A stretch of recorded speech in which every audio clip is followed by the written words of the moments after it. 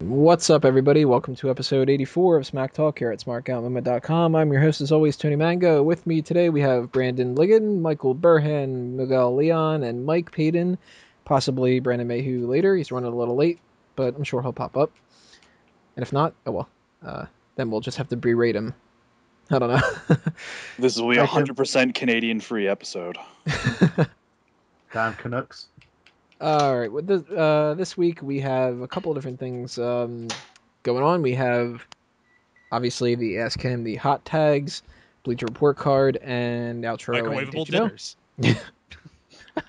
And Tony is going into the fashion industry now with his new T-shirt line. Actually, I do have T-shirts up. If Awesome. you uh, check out the um, the channel layout now that I'm forced into the YouTube One channel layout, I threw a little uh, cafe press thing out there, but uh, obviously I the didn't way- put a whole lot of time into it yet. Ladies and gents, it's all the same. I'm not partnered up with any big partnership company, and I have the same functions as he does. yeah, isn't it ridiculous? Burn! Yeah, I'm giving away uh, a percentage of my stuff for like nothing now. Yeah. We'll have to change that. Um, we also have this. when nobody likes you? Yeah. we also have. Uh, that's actually going to be. Did you know a little bit? According to last Tony week. Um, we also have the mailbag coming up in this part, and um, pay per view predictions for Payback. So Payback pay per view predictions are coming up uh, a little bit later. But uh, this part, say- ask him mailbag and bleach report card, and we're gonna start that off with the ask him. So who got it right last week? Okay, um, not many people were talking about the Ask Him last week for some weird reason. So, um, uh, you know, a special shout out to Jamie O'Halloran for because he's got a very sad face there. I think Paden said something to him. Paden said something to everyone, they get sad. Um, Watchman King 67. Uh, is it NWO 2000 with Nash, Hall, and Jarrett, which only lasted a month? Uh, which is correct. Because the question I asked was who was the group that Bret Hart decided to join and get back together, which was the NWO 2000 with Hall, Nash, Jarrett. Um, eventually, it just became a Jarrett stable with Jarrett and the former Bikers of Apocalypse. I forgot what their names were. The Harris brothers. The Harris brothers. Thank you very much on that, Brandon. So, yes, there you go. Um, Jeremy O'Halloran 4 also said about Bret Hart and then got annoyed about his name. Um, and he said it was Bret, Bulldog, Neidhart, and Sting, which are Ron Jeremy O'Halloran. So you're going to get loads of scorn from me. Ah, uh, Awesome Piano 1021. Um, he suggested it was Chris Kanyon, and Sting and Jeff Jarrett in the NWO, which was wrong, but it was the NWO 2000. So I'll give you like a, a point, 0.01 percentage point there. Wait, Chris Uh, Kanyon? Really? Exactly. Really? Really? Really? And that's it, guys. So uh, let's move on to the Ask Him of this week. As always, if you tuned into Keeping Kayfabe live, um, I tried to link my Ask Hims with, with that show specifically, just to sort of help the guys out on the show, Brandon and, and Mike, and give these guys a ratings boost. So check that out. It's a very different kind of show in comparison to Tony's show. Just don't stop watching this one, otherwise Tony will kill me. Uh, so It's true. let, us go on to that. So the first question I'm going to ask I have was- gun pointed. who was the individual that ended up unmasking on Raw after losing a match to this man, who I'm going to remain nameless because you have to answer who the man is, and taking out, he took out his tag team partner at the time, who was someone who's a former WWE star, and I believe at the moment a former TNA star and a former ECW star. Name the two individuals. Who was the individual he lost the match to, and who was the other individual that he attacked? Wait, what? Yeah, that was too wordy. and and name the individual the individual who unmasked on Raw. So you're naming the guy who unmasked on Raw, the person he lost to to unmask, and the person that he ended up beating on his tag team partner. Wow, way to make it real fucking convoluted. Yeah, I have no idea what this question is. He had a storyline. He had Somebody a storyline unmasked. Somebody unmasked on Raw. on Raw on an episode of Raw. He was okay. Let me let me try and do this. Are you talking about Kane? There you go. Who And what was the on? other part of the question? Who did he RVD. on? His tag team partner. Great. And who was the person he lost to? Uh, I believe RVD was his tag team partner at the time. I don't remember who he lost to. I think it might have been Triple H actually. Correct. For the IC title and all that? Is that what that was? So a point to Miguel and a point to Tony for realizing what the question was. Yeah, Um, that was confusing as well. I should have gotten like ten points for that. I should have gotten uh, fantasy league points for figuring that one out. Yeah, put the give me let me So, let me cash now- those points in on the fantasy league. So now, ladies and gents, let me ask you a question. Going on from this one, so you know that it was Kane who was unmasked, um, and later went on a huge tirade. He then ended up fighting at a certain pay per view in an ambulance match against Shane McMahon. Now, I want you to name who the person was that caused Shane McMahon to have this match with Kane. So it was an individual that he tombstoned. I'm not saying any more than that because I've given you guys a lot to go with on this. So who the individual was that that he tombstoned, I right, oh, to take on Shane McMahon in the ambulance match and name the pay per view. So there you go for the ask him this week. Hmm. All right, guys, tell us what you think the answer is for that, and we'll tell you next week who got it right and who got it wrong. That's going to lead us into part uh, three of part one here, the monthly mailbag. We have two questions, uh, actually three questions this week um, from two different people. Uh, care of Andre, we have. Hey guys, just wanted to say that I love the show and to keep up the good work. As for the question, do you guys have any early speculations as to who may win Money in the Bank in July? Uh, thanks for um, saying you love the show and everything uh, and watching it, Andre. Um, question wise, who do we think might win Money in the Bank? I really think that Wade Barrett is winning one of them, and I think the other one is going to be either Randy Orton or Sheamus. I don't want it to happen, but that's what I think is going to happen. What do you guys think? Um, well, for me, I had a certainty that Cody Rhodes was going to win one, but I don't think so anymore. So I think it's going to be Barrett. And if the WWE are listening to people, the WWE title contract will go to Mr. Daniel Bryan, Daniel Bryan, Daniel Bryan, Daniel Bryan. Nobody else has any other. Uh, I agree entirely with Burhan. I think it's going to be uh, Wade Barrett with the World Heavyweight title, uh, Money in the Bank contract, and uh, Daniel Bryan will eventually win the WWE title. Hmm. Miguel? Uh, That deep exacerbated sigh, like it's like a really hard thing to decide. Ugh. it's not so much hard. It's just I tried. I tried out to just immediately go. Yeah, I, I agree. I you know I agree with everything you guys are saying. I'm, I'm trying to think of who else could they slot into that role, and yeah, I can't think of anybody else. Daniel Bryan, uh, they gotta they they gotta strike while the iron's hot on that guy. And as far as the other championship belt, really, they don't have anybody else they can slot into there. Maybe they could, if they're desperate, maybe slot Orton or Sheamus. I, I would not be Oh, shocked if they not. did that. But as far as somebody who could really use it, uh, I'm okay with Barrett. I'm all right with that. What do you think, Paden? Well, first, I think there's only going to be one Money in the Bank this year. I'm hoping they're finally going to scale back back on that because there's no reason for there to be two. As far as who that one goes to, I don't think Daniel Bryan needs it. I think he can find a title at this point on his own merits. Mhm. Um, I think this should be go to someone who kind of needs that one stepping stone to get them. Barrett is definitely a good choice for it. Um, two other names I think are worth mentioning though. One of them is Cody Rhodes, which I'm sure makes Burhan very happy. Um, the other one too, being- actually. The other one being Antonio Cesaro. And the reason I say these two names is because these guys have been driven into the ground lately, shoved into obscurity. Yet we know the company's very behind them. We know they have a lot of fans supporting them.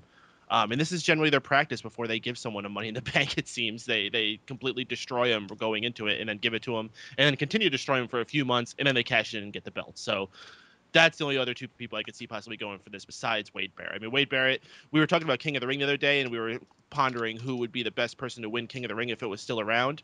And Wade Barrett's really the, the best person for that. Yeah. And I, you know what? Since could Money in the Bank is the modern version of that, I'll go with him as well.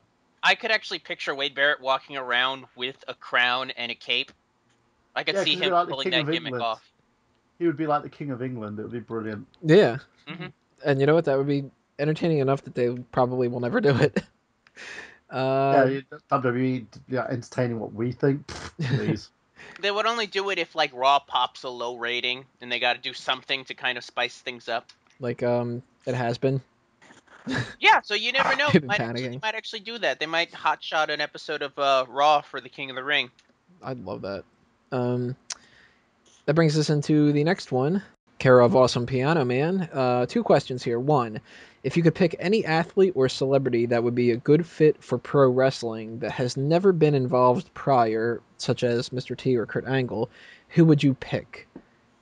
I can't think of any off the top of my head now. I'm not really the best uh, sports person to kind of call about that, so uh, I don't know. What do you guys think? You'd have to go into you'd have to for something like that. You'd have to go straight into MMA because, really, honest. First off, I can't think of any um any peop, anybody in mainstream sports that would fit because I don't follow mainstream sports. The only one, the only thing I do follow besides wrestling is MMA. As far as MMA goes, I'd probably say Chael Sonnen. He he has the, he has the mouth for it. He can talk he can talk game better than anybody else in the business and he's got the colle- I think he's got he got a collegiate wrestling background. The guy's the guy seems to be tough as nails, so I could see a guy like that really thriving in the professional wrestling business. Hmm. You're a resident uh, sports person, Brandon. What do you think? Uh, I agree with the Chael Sonnen thing, and uh, I s- was watching Vice uh, on HBO this weekend, and um, or last weekend rather, and they were. Ha- I was watching something in in Senegal. They have this sport called Lamb wrestling, L A A M B wrestling. Do they wrestle like sheep? No, they. It's like tribal wrestling. It's like it's basically just grappling and light punches, but there's like a whole Oh. religious thing to it. And Yeah. the guy that does it, this guy is a fucking brick shithouse. I can't remember the guy's name right now, but the first thing I saw when I saw this guy I was like, the WWE needs to snatch this guy up because this guy is just he's like Ezekiel Jackson jacked.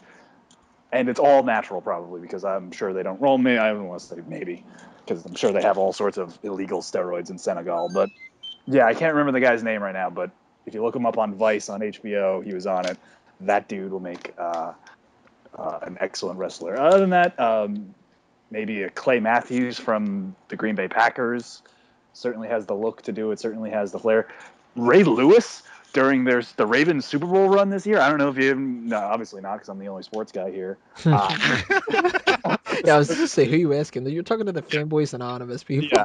I'm like, what the fuck am I doing? Um, after every game that the Ra- playoff games that the Ravens had on their Super Bowl run, Ray Lewis was cutting hardcore promos on guys. He was getting emotional and teared up. And yeah, I think Ray Lewis in his prime could have been a professional wrestler. Maybe not now. But What about um Terrell Owens?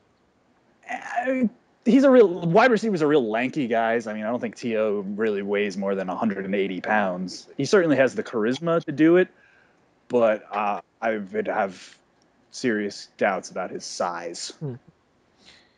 You know who I always thought would have been a pretty fun wrestler? I, I he's not a, a sports athlete, but I look at him, I look at his build, I look at his at his gimmick that he's got, and I think a guy like that could have really thrived if he had decided instead of going into music to go into wrestling. Fifty Cent. Yeah, yeah. Before he did that movie where he got all skinny, uh, like Get Rich or Die Trying 50. Oh no, no, are you sure that's it? Because I there's one that I there's one that I read about that he did where he he lost a ton of weight for. Yeah, It was It's one. like- it was one where he was playing. It was one where he was playing a cancer patient. I thought it was a crack. What? These I- yeah, yeah. It was under his um. It was under his um, his uh movie label. He he puts out his own movies that he stars in, and one is actually a drama where he plays a cancer patient. And I've I've seen bits of it. I've seen like uh screenshots of it. He look he got really thin for that role. It's just the the thought of Fifty Cent doing a cancer drama. Like you you haven't earned that. no, you, not you, at all. You've been doing nothing. You've done nothing but but action movies, like C-rate action movies. You haven't earned doing the cancer drama thing. Like Tyler Perry hasn't earned that right, let alone Fifty Cent. The, the funny There thing about Tyler it Perry is, in wrestling. with 50 Cent, he's very. He, he's one of those guys where he thinks he's a far better actor than he actually is. I mean, did anybody see Get Rich or Die Trying the movie? I did. Everybody else was. Everybody else had to work that much harder to make him look good. But that that movie was that movie was such a gimme though. I mean, that's one of those movies where you're not really you- you're not playing out of character. It's kind of like how people like praised Eminem for doing Eight Mile. That was such a gimme role. Like Yeah. that that that wasn't trying. Like you, you were basically playing yourself. It was a biopic, When- basically. like when Jack Nicholson plays an insanity uh, kind of character. Yeah, because it's it's, it's exactly the given role that he plays. We're getting No, into uh, fanboys territory here. Maybe we'll Uh, do a, a uh, fanboys anonymous uh, roundtable discussion on it. By But- the way, everybody, those uh, celebrities though, Yeah, um, in in terms of celebrities, the one guy I would love to see do professional wrestling, who'd never do it, but it would be awesome. I think Robert Downey Jr. would be someone of a, even if he wasn't a wrestler, he'd be an excellent mouthpiece. hmm. Yeah, Robert I Downey Jr. is like five foot five. It's not a really tall guy. Doesn't doesn't have to be. He just has to show like a ton of charisma. Nowadays, we don't look at size in, in terms of wrestlers or even strength. We look at if they can talk, if they have the total package. So he'd be someone that I I really would love to see in that environment. I think he would thrive in it. But again, he's like you know you- you're looking at a guy who banks what like 150 mil a picture. So yeah, that ain't gonna happen. What about um? Well, not not nowadays, but Dolph Lundgren would have Yeah, he uh, pretty decent for uh, wrestling. It would have been awesome for him to do that after the Rocky role. Yeah, after when he played the Russian. He would have been awesome having a match between him and Hogan. I think that Yeah. would have sold tickets. Like he actually, they actually have the WWE actually books Ivan Drago, not Dolph. Yeah. Well, they, they did they did something uh, rather Oh. similar. If everyone remembers with uh, Zeus. you know, you know what Over they the should have top. done? They should have brought him in the TNA, and he could have killed Consequences Creed. Someone should. I guarantee you, Vince Russo pitched that idea. They're like, "How much money do we have in the bank account? Can we afford Dolph Lundgren?" or no, no, we'll, we'll wait till Vladimir Kozlov gets out of out of his uh, contract, and we'll we'll set that up. We'll set up that dream match that no one was asking for. Uh, I'm curious to see what the answers are from uh, the listeners. If you guys have any athletes or celebrities that you um, think could fit in there, good question, Awesome Piano Man. Um, the other one that he has is um, if you're Gilligan at Gilligan's Island and you're crashed, uh, you crashed your ship on an island, which wrestler would be the following? Um, Skipper, which um, for those who don't know, these are the classifications that Awesome Piano Man uh, gave us for the Gilligan's Island's character. Skipper, the best buddy. Mrs. Howell, the spoiled wife, Mary Ann, the girl next door, Ginger, the temptress, Mr. Howell, the rich wise guy, and Professor, the professor. Um, I would think uh, to go like the simplest out of all these kind of things. Um, Professor Damien Sandow, Yeah. Yeah, definitely. Agreed. um, Mr. Howell, the rich wise guy, Ted DiBiase, Mm, no, maybe. Vince Alberto McMahon. Del Rio. Yeah, I'd go with Vince McMahon. Vince McMahon makes more sense. I would think that that would be more rich, insane guy. But uh, I could I could kind of see that. Um, You're gonna fix that hole in the boat. Let me tell you, you're gonna fix that hole in the boat. are if you don't coconuts? if you don't fix These that, coconuts are nothing compared to my grapefruits. Yeah. I crashed the boat. It was me. Ah, son of a. instead of the survivor um, voted off the island thing, it's just you're fine. You, you idiot! You ruined our plans this week. You and your stupid hat. Um, Mary Ann, I would say maybe AJ. Um, Marion was really in- innocent and cutesy, so Yeah, mm, maybe like Eve during her face run would have been a good Mary Ann. Hmm. Or Molly Holly. Holly Better. Holly. Yeah, Better. Yeah, I, I, I was gonna ask if we're going by old wrestlers or current ones, because I'd go with Molly Holly. So I If think if you to be a if you guys have seen more than three episodes of Gilligan's Island, you've seen more uh, than I have. So I'm kind of going based off of what I Uh, vaguely remember. Mary Ann was the very sweet girl next door type. I don't really think WWE even has anyone like that anymore. nope. Hmm. Everybody has to be a bit of a whore now. Layla. There you go. Yeah, That's Layla's probably the closest bet. Huh. She's still a whore at one point. Wholesome diva ever. Hey, she made out with Kaval. well, I mean, um, Mrs. would- Howell, kind of like a Maryse, I guess. Linda McMahon. she was pretty old, wasn't she, on the show? Yeah. And she was pretty boring too, so I think Linda's very fitting. Well, if we're gonna put Vince McMahon as Mr. Howell, we might as well put Linda as Mrs. Howell. That makes sense. does. Are we really doing this? Yeah, we Like. I, I spaced out for a second. How did we get to this? this is a uh, monthly mailbag. Really? I didn't is- think we this is actually got mail. This is actually exactly what I was kind of going for with the monthly mailbag, like odd kind of questions and stuff. Um, Fucking odd. Ginger, who do you guys think? Ginger.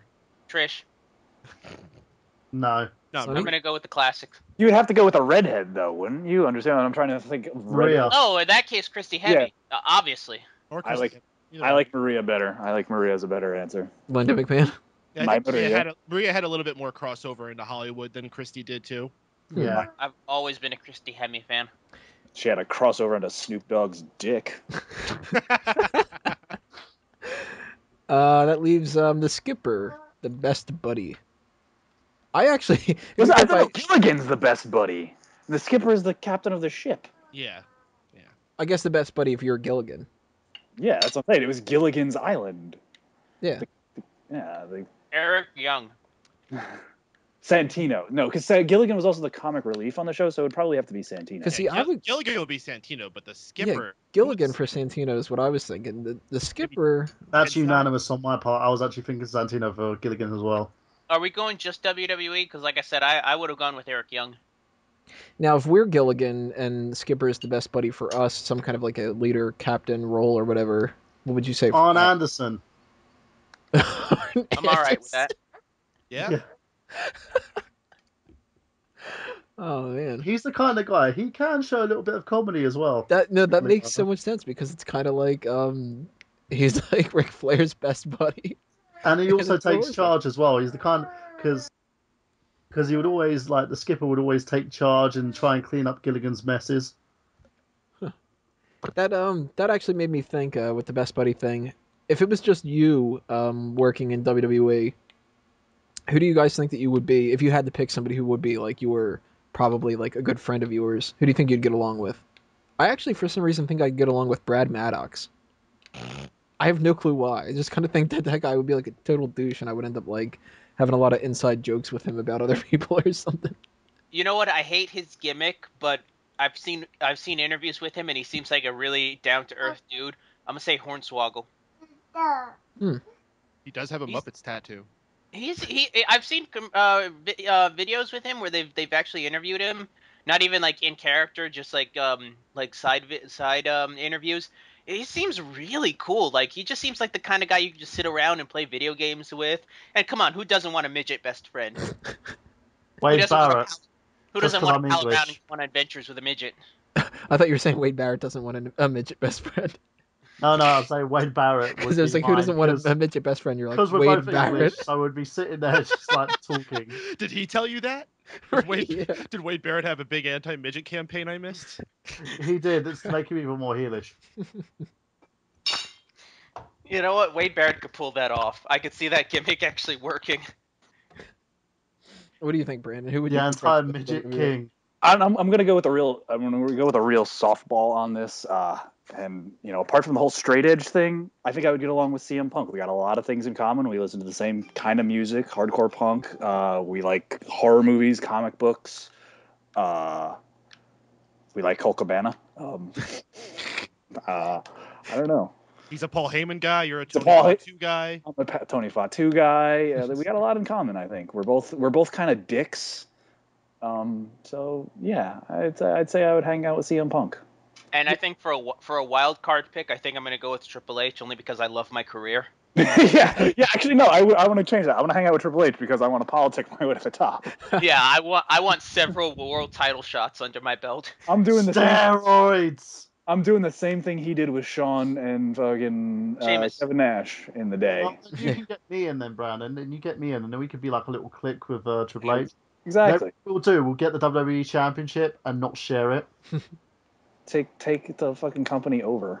What do you Yeah. think, Paden? Who do you think you'd be friends with? Well, while all you fools are hanging out with dudes, I'm going to be hanging out in Jersey diners, eating gravy and cheese fries with AJ Lee. Well, that was a that was a s- fucking easy one. And then he's going to ask her, was he bigger than me? Yeah. All right, that leads us into the last part of this source section here, and that is the Bleacher Report card.